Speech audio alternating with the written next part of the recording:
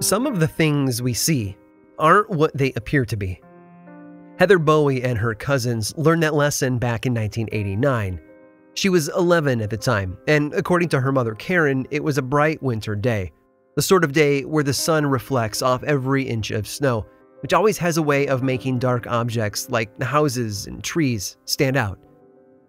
Heather and her cousins were walking along a small country road that ran between their town and the next when they saw a dog sitting in a stream near the roadside. Well, stream might be too strong of a term. It was just a bunch of runoff, the sort that passes beneath roads through those big metal tunnels. It was a drainage ditch, basically. But kids love dogs, so Heather and the others veered off the roadside and into the snow to walk toward it. They assumed it was a local pet that had wandered a bit too far from home, so they planned to check its collar and see what they could do. But even from a distance, it looked a bit odd. To be specific, it looked too big to be a dog. They took one more step toward it and then stopped. They stopped because that's when the dog turned to look at them. And as it did so, it did something they weren't expecting. It stood up on its hind legs like a human. Obviously frightened, the girls ran home as fast as they could. Humans have always had a connection to animals. We live with them in our homes. We depend on them for food and resources. We identify with them, sometimes even treating them more like people than beasts.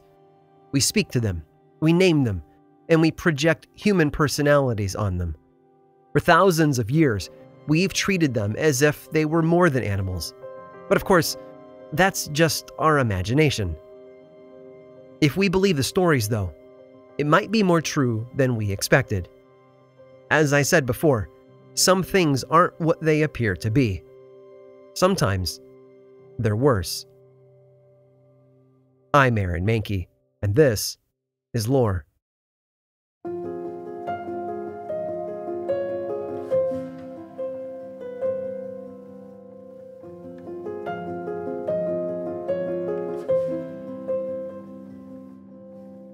Our connection to animals is nearly as old as humanity itself.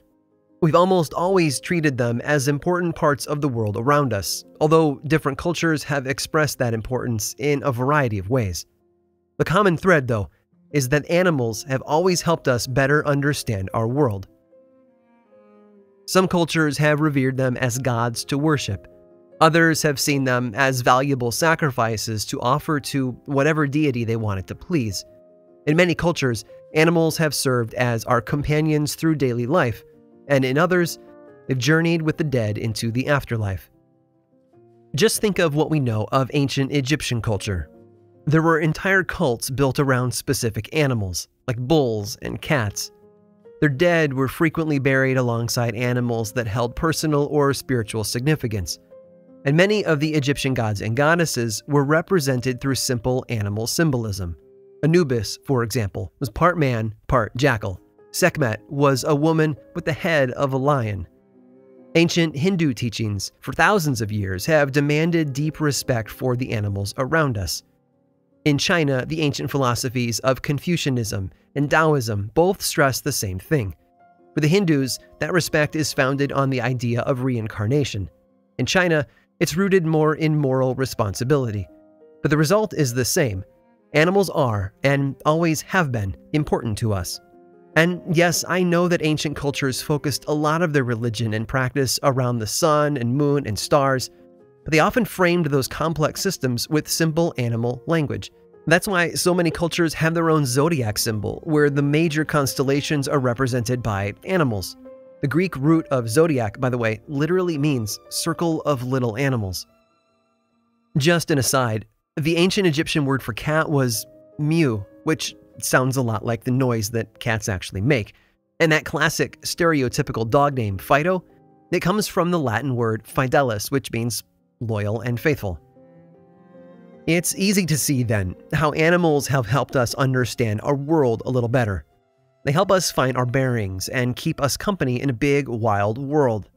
The more significantly, though, they've helped us understand ourselves by giving humans a sense of identity and purpose, a theme or a banner to unite around, in a sense. Sometimes those themes took the form of religion, as was the case in Egypt with the bull cult.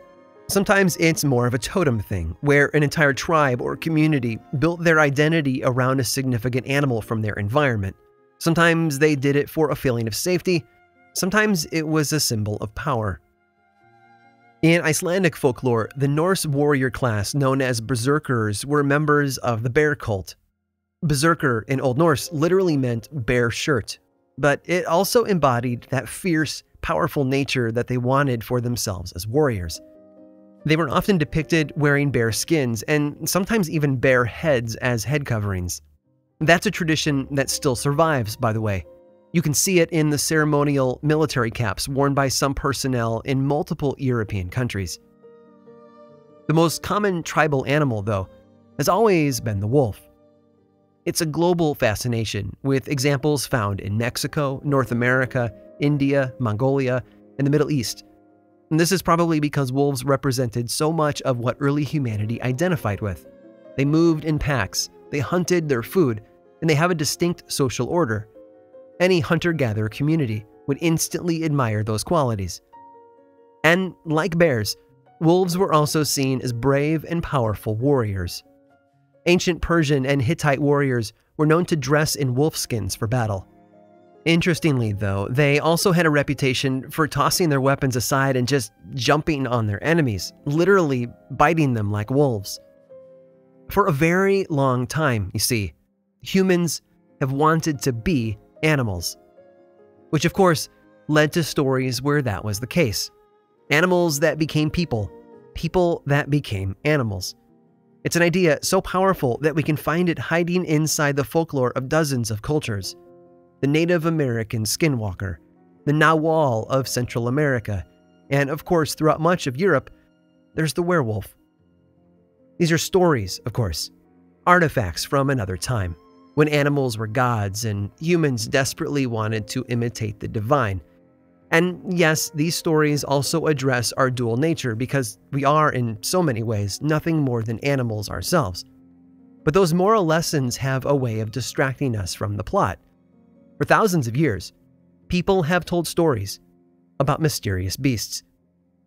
And it turns out, those stories might be more real than we care to believe.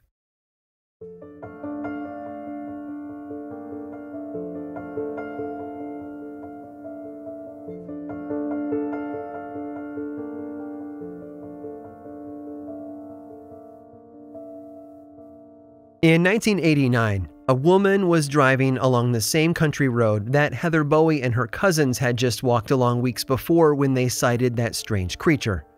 In Lorraine Endrizzi's case, it was well after sunset, so she was doing the responsible thing and scanning the edges of her headlights for wild animals. Wisconsin has plenty of deer, after all, and deer don't mix well with windshields and front ends. Lorraine worked as a manager at one of the local bars in Elkhorn and had just wrapped up a very long, very tiring shift. All she really wanted to do was get home safely. But when she did notice something unusual, it wasn't in the periphery of her headlights. It was right in the road in front of her. Seeing it early gave her the chance to slow down and swerve to avoid hitting it, but it also helped her get a good look at it. From a distance, it looked as if there was an animal hunched low to the pavement of the oncoming lane. Its head was gently bobbing at an irregular rhythm. She couldn't tell for sure, but it almost seemed to be eating. As she slowly passed it, she claims she saw everything. It was eating, all right. Whatever it was, the creature was hunched over a pile of roadkill, pulling big chunks of flesh off the dead animal. Lorraine said she could clearly make out what appeared to be long, white fangs that protruded from a gray snout. Together with the pointed ears, she couldn't help but think of it as a wolf. The trouble was, this wolf was kneeling on the road, like a human. It's one story, I know. And stories that are born in the middle of the night after an exhausting day of work are often full of flaws. That might very well be the case here. I think we've all had moments when we've seen things that don't make sense. So Lorraine's story could just be a bit of midnight confusion, I suppose, if it wasn't for the other stories. Two years later, on Halloween night, in fact, it was Doris Gibson's turn. She was just 18 at the time and had been driving out to pick a friend up for some trick or treating back in town. Like Lorraine before her, she was driving that same stretch of country road, named for the old Bray family farm that it passed. According to the story Doris later told to a local reporter, she'd briefly taken her eyes off the road to switch channels on the radio when she felt the car lurch. It was as if, she said, she'd run something over. Frightened by the possibility of what had just happened, she stopped her car, put it in park, and then got out for a look. Doris, it seems, wasn't a big horror movie fan, because anyone who knows anything about horror films knows that you never, ever get out of the car. Ever. Still, there wasn't a scratch on her car. The bumper was spotless. There was no sign of blood or fur or anything else that might hint at fresh roadkill. And even more convincing, there was nothing on the road no dead animal, no unlucky farmer out for an evening walk, not even a pothole. There was no clue anywhere that could explain the bump she'd felt. She was about to turn and head back to her car when movement caught her attention. There was something in the trees and shadows along the roadside. According to her, it was a large figure that stood upright like a man, but seemed hairy and very muscular which, as you might imagine, was a pretty shocking thing to see on a dark, lonely country road. So Doris did the smart thing and bolted for her car door. As she did, this thing, whatever it was, chased after her. Doris said she could hear the heavy thud of the creature's feet on the pavement behind her and the sound of the deep, panting breaths. Thankfully, she managed to get into the car and shifted quickly back into drive. But as she pulled away, she felt her car shudder once more. When she looked in the rearview mirror, all she could see was the dark silhouette of the creature filling her back window. It had jumped onto the trunk. Whatever her attacker was, she claims that it fell off once she got her car moving quickly enough, but she wasn't willing to stop for another look. She did, however, continue on to her friend's house, and eventually they both headed back to town for some Halloween fun. Later that night, on her way back along Bray Road to drop her friend back off at home, Doris swears she saw the figure one more time. It was far off in the distance, at the edge of her headlights, but it was the same unmistakable shape tall, thick, and very animal like, but standing upright on two legs. It wasn't until the next day, in the safety of her own driveway and by the light of the noonday sun, that she took another look at her car. There, on the trunk, she found evidence that something very unusual and very dangerous had taken place the night before. Long, vicious scratches, all grouped together, as if they were made by claws.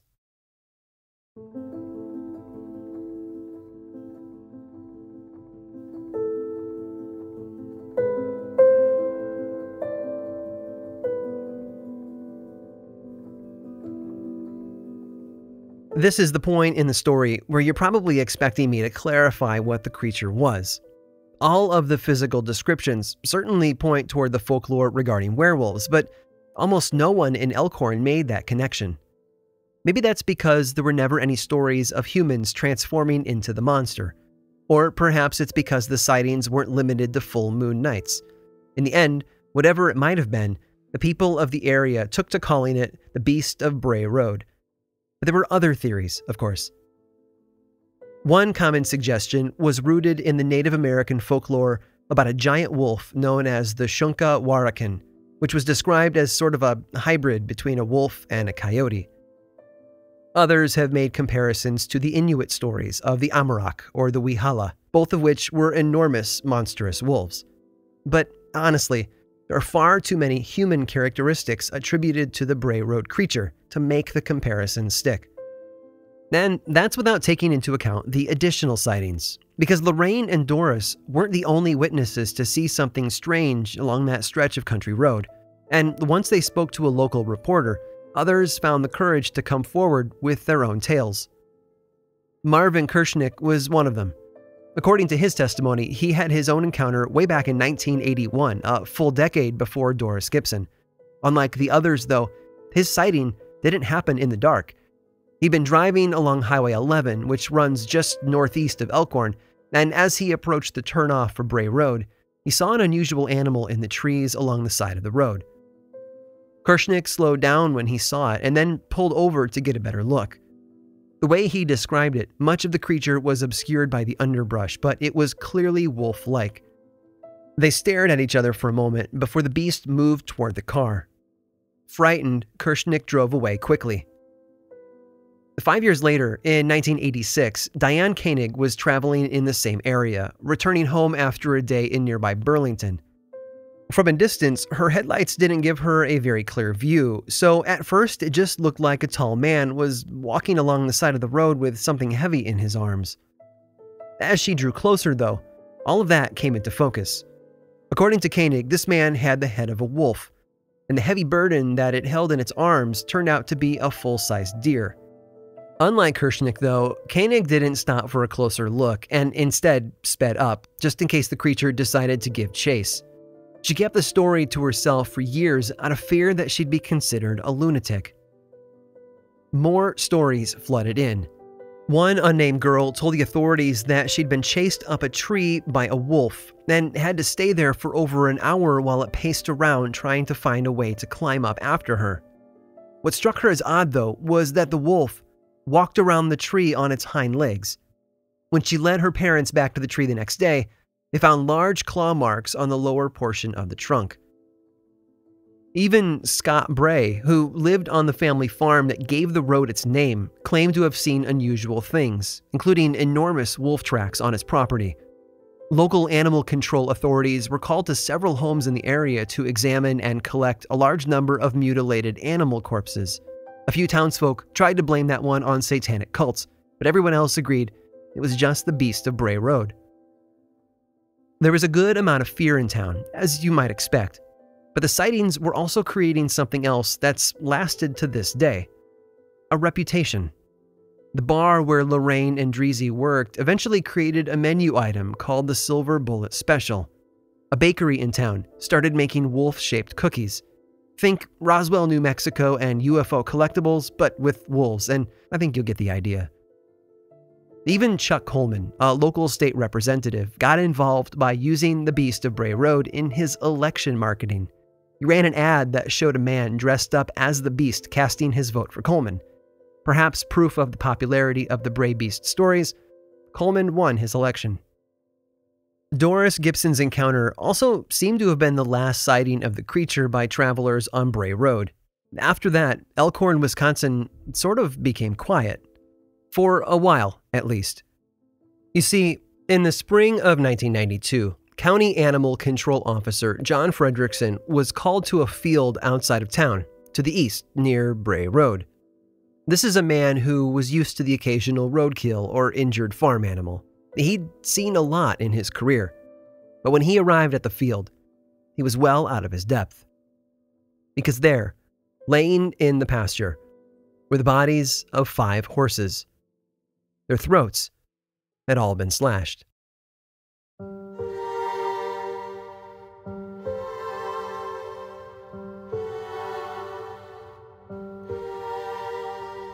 It seems that people are drawn to animals, and we always have been.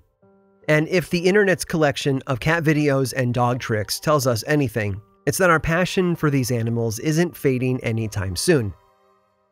Perhaps they meet a deep, unspoken need in our soul, or maybe they just trigger the right pleasure center in our brains. Whatever the reason might be, animals are significant to us. And every time I see someone dress up their dog in a sweater, I can't help but think of how, for a very long time, humans used to be the ones dressed up as animals. We envy their grace, their strength, and their power and that envy has woven itself into the very fabric of global folklore. But what if there's another reason why we tell stories of animals that act human? What if, deep down, we fear the possibility? Or that our ancestors told just enough stories about human like animals that we wonder, just a little. Whatever it was lurking in the trees and shadows of Elkhorn, Wisconsin back in the early 90s remains a mystery to this day. No answers have been uncovered. No unusual corpses have been found in the woods or along the roadside. No nests or dens or whatever sort of dwelling a creature like the Beast of Bray Road might have lived in. All we have is story. Sometimes all we ever have is story. All of the witnesses who came forward to tell their stories seemed to agree on the details. And surprisingly, all of them appeared to be telling the truth. When a documentary on the events was being produced in 2008, all of the witnesses agreed to take a polygraph exam, and each of them passed. It's not irrefutable proof, I know, but it's enough to make you wonder. Sometime after the events of the early 90s, a local who lived along Bray Road looked out his window to see a man standing in his driveway with a handgun.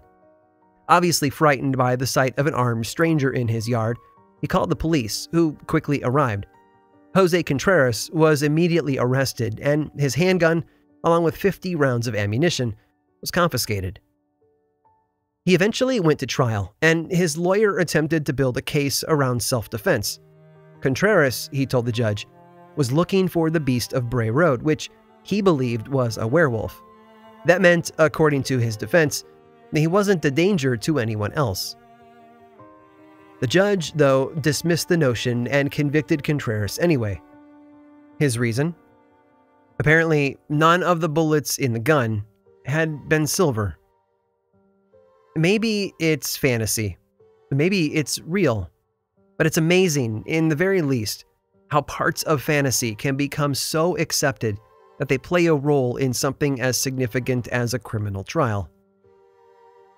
One final tale just six years ago, more witnesses came forward about a new sighting. One night in October of 2010, six people were driving together down Bray Road. Down the road ahead, they watched as shadows seemed to move across their path. As they drew closer, they watched the shape run into the open field to their right.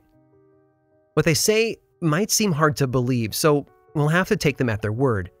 They claimed it was an animal, covered in fur and similar in appearance to a wolf, except it was running on two legs and not four.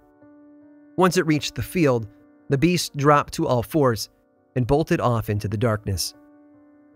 One final detail sets this report apart from all the others, though, because unlike every other encounter dating back over 30 years, this one finds a way to make the beast of Bray Road even more frightening.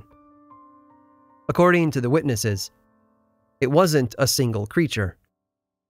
There were two of them. This episode of Lore was written and produced by me, Aaron Mahnke, with research help from Marcet Crockett. And you can also follow the show on Facebook, Twitter, and Instagram. Just search for Lore Podcast, all one word, and then click that follow button. When you do, say hi. I like it when people say hi. And as always, thanks for listening.